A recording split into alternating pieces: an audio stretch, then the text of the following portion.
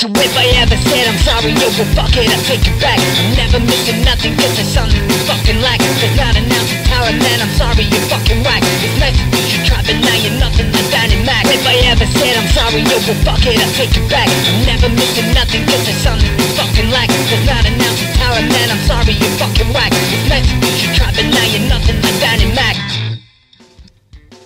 Yo, yo, yo, yo, yo, it's the Miggity Miggity Miggity Mac coming back with the next one, I guess.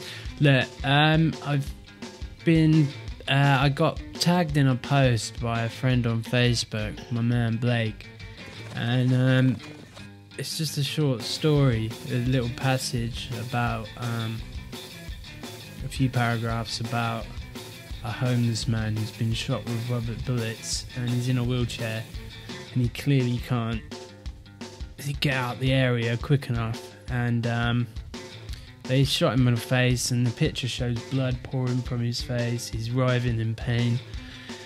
And uh, th- anyway, I'll get onto this little passage before I carry on. As I was being arrested for my second day in a row during peaceful protest in support of Black Lives Matter, I decided to continue taking photos until the, next, the last moment before handcuffs were put on me. Very risky but a necessary move to expose the LAPD's entirely inexcusable use of excessive force, especially in the moments before mass arrests of peaceful protesters. As we were being boxed in on Broadway and Fifth to be arrested, LAPD decided that completely unarmed homeless man in a wheelchair had nothing to do with our protest and some was somehow a threat. They proceeded to inappropriately shoot him with non-lethal rounds directly in the face, which is against the proper procedure for firing rubber bullets, because they should be fired at your body, not in your face. Uh, the last image is exceptionally heartbreaking for me as you can visibly see the homeless man is in, writhing in pain, screaming as he spews blood from his face moments after getting shot. When people want to be apathetic or indecisive in fighting against police brutality against black individuals, make them realise that this trickles over and can affect them somehow, and regardless if they're black or not. This is completely unacceptable. The injustice needs to be this, this injustice needs to be held accountable for, and you need to expose this. Now, I've got the pictures. I screenshot the pictures and I've put them up in this video. But people need to start understanding this isn't about black, white, yellow, brown. This isn't about color. This has nothing to do with color. This is about police brutality and having to stand up for your civil liberties. I mean, I can understand why people are smashing windows and because because they're they're they're just at their wits end with it, but what I've noticed is it's predominantly white people that are doing the smashing of windows, the vandalism, the spray painting, and it's that's nothing to do with Black Lives Matter.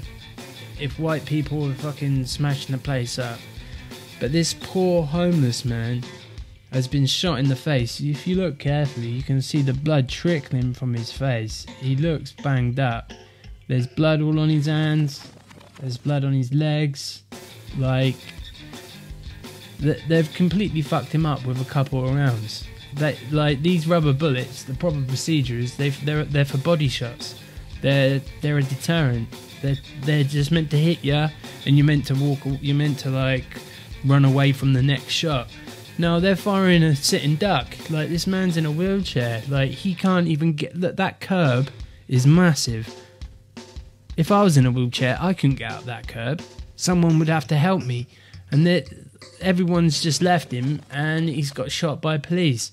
And yet again, just like my last video about the old 75 year old man being um, knocked to the ground and having head trauma, this guy's white as well. So, like I was saying, it's nothing to do with race. This is police brutality that it needs to stand up against.